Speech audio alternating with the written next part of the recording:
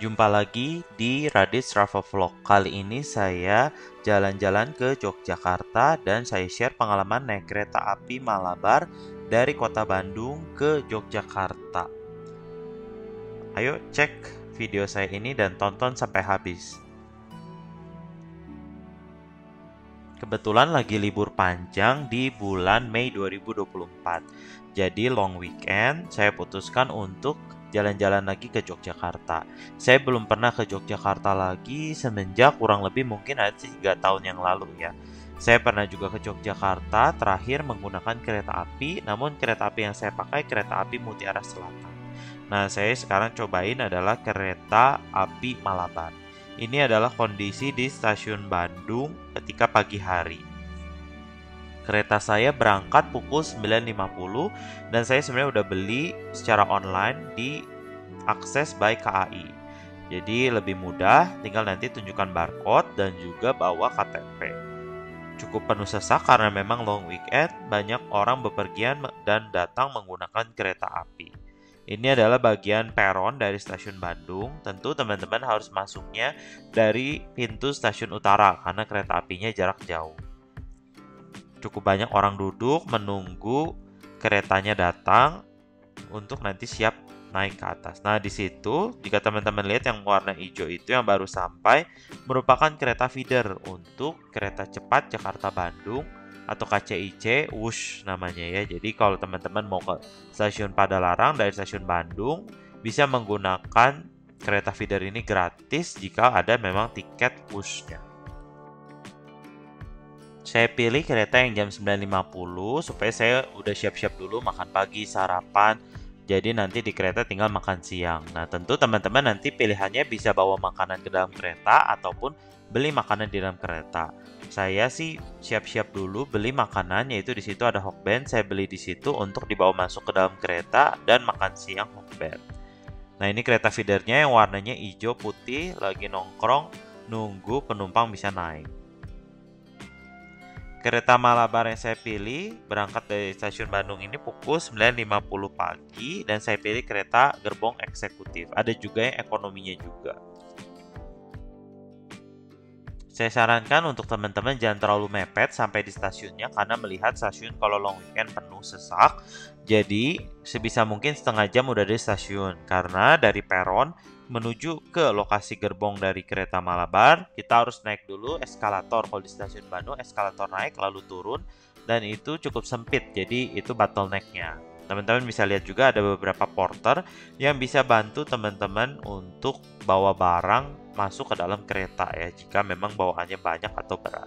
Kurang lebih berdasarkan informasi di tiket kereta, perjalanan ke Yogyakarta dari kota Bandung memakan waktu kurang lebih 6 jam lah perjalanan.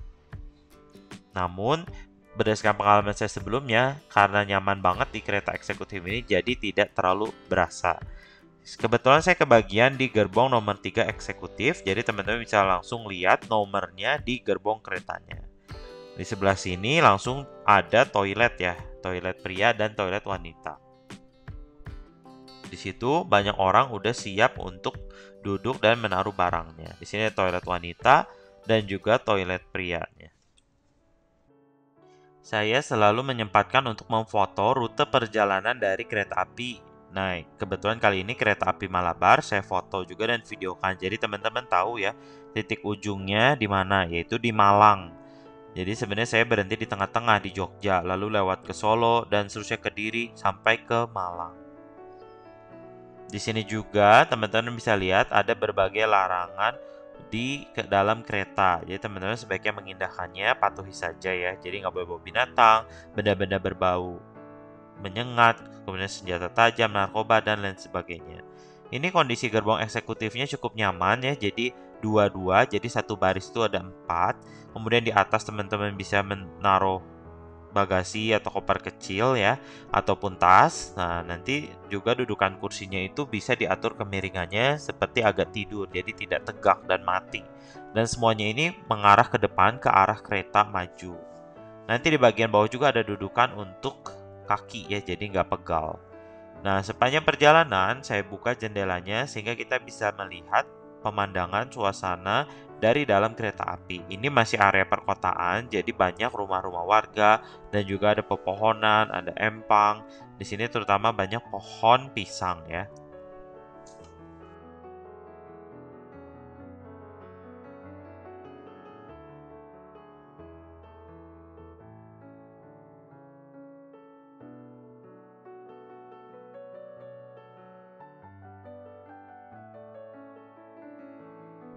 Kita juga bisa melihat rel kereta api atau jalur kereta api dari kereta yang lain. Kebetulan cuaca saat itu cukup cerah, jadi langitnya kita bisa lihat awan, biru, dan sinar matahari cukup terang. Kalau misalnya teman-teman merasa kepanasan atau silau, bisa ditutup ya gordennya bisa diturunkan untuk ditutup kalau teman-teman mau tidur atau tidak mau cahaya matahari yang terlalu banyak masuk ke gerbong. Nah, kita berhenti dulu di sini, transit, yaitu kita tiba di stasiun Banjar. Nah, ini ada tulisannya, yaitu kita tiba dulu di stasiun Banjar, ada berhenti dulu sejenak, lalu nggak berapa lama, 5-10 menit, kereta mulai berangkat lagi.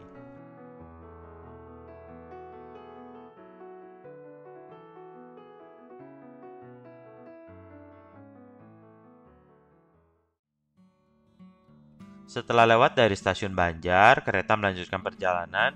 Lebih banyak pepohonan, lebih banyak sawah, area perkebunan, empang. Jadi teman-teman bisa lihat ya ternyata di Pulau Jawa ini sepanjang perjalanan dari Bandung ke Jogja lebih banyak area persawahan, area hijau ya. Saya kira bahwa di Jawa itu mayoritas sudah berbentuk rumah-rumah warga atau perkotaan gitu ya, perkampungan namun masih juga ternyata banyak persawahan, kemudian kolam ikan, dan sebagainya ya.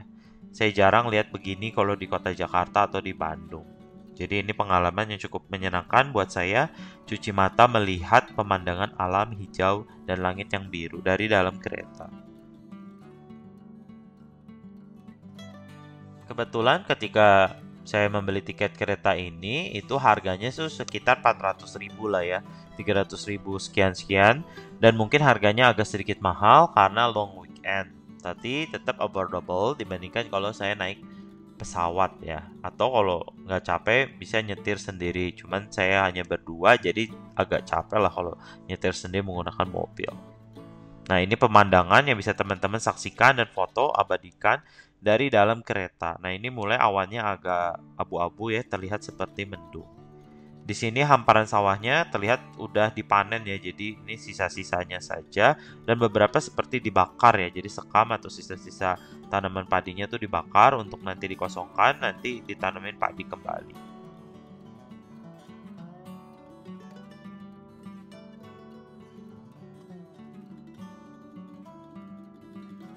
Teman-teman, kalau sepanjang perjalanan gak perlu takut. Kalau lapar, haus, bisa nanti order makanan dan minumannya. Ada juga kereta makan tersedia di salah satu gerbongnya. Dan juga ada tempat makannya berupa seperti meja makan. Cuman kalau jam makan siang tentu atau makan sore agak penuh. Jadi teman-teman better lebih awal untuk antri di situ. Akhirnya setelah 6 jam perjalanan di kereta api Malabar, Bandung ke Yogyakarta, tibalah kita di stasiun Yogyakarta pada pukul sekitar 16.37 sore. Ini juga stasiun yang besar, jadi banyak kereta lewat sini. Ayo kita cek, kita keluar dari kereta, dan kita segera keluar dari stasiun dan menuju ke hotel.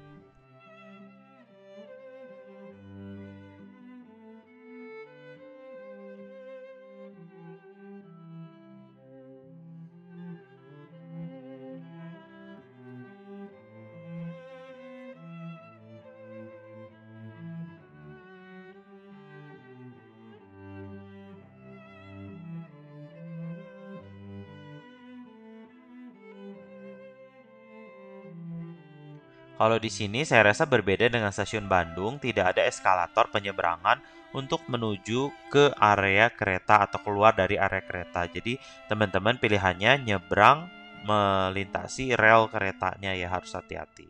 Nah ini ada tulisan selamat datang di stasiun Yogyakarta. Welcome to train station of Yogyakarta dan juga ada tulisan aksara Jawanya. Saya nggak bisa baca. Mungkin artinya sama ya. Bagi teman-teman yang tahu silahkan tulis di kolom komentar. Juga ada papan petunjuk arah. Jadi kalau arah Jakarta, Bandung itu satu arah ke kiri, berapa kilometer, Surabaya ke kanan. Ini ada orang juga antri ya mau naik ke kereta.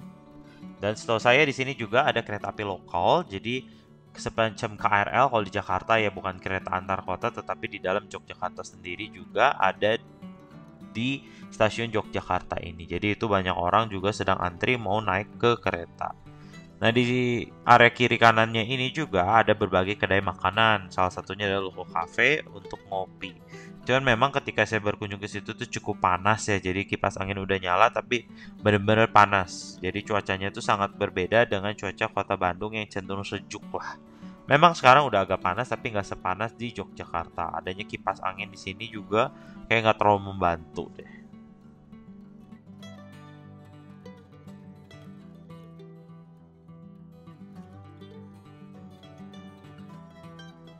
Kalau teman-teman yang nggak mau banget kepanasan, ada lounge anggrek. Jadi itu suatu tempat yang ada AC-nya, ada makanannya. Teman-teman tapi harus bayar. Jadi ada charge-nya ya mungkin per jam atau per masuk bayar berapa. Cuman tempatnya cukup nyaman, jadi nggak kepanasan sama sekali. AC di dalam ruangan tertutup.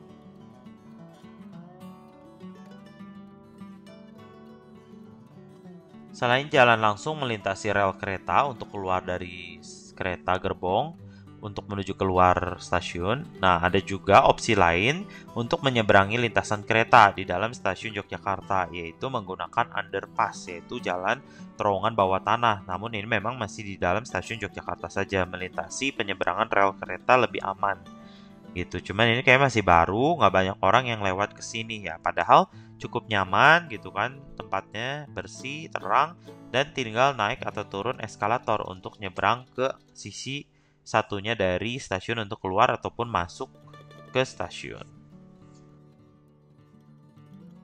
Di kiri dan kanan terowongan ini juga atau underpass ini ada foto-foto kereta, foto-foto Yogyakarta hitam putih ya. Jadi menghiasi ruangan ini.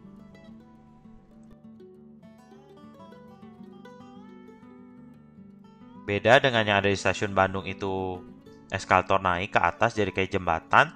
Kalau ini dibangunnya terowongan di bawah atau underpass. Dari sini kemudian saya tinggal jalan kaki ke hotel yang saya pilih yaitu Neo Malioboro. Tinggal jalan kaki kurang lebih 50 sampai meter sampai dengan 100 meter dari pintu keluar. Jadi sangat gampang dan dekat stasiun. Oke, sekian jalan-jalan saya dan pengalaman saya naik kereta api Malabar dari Bandung ke Yogyakarta. Bye bye.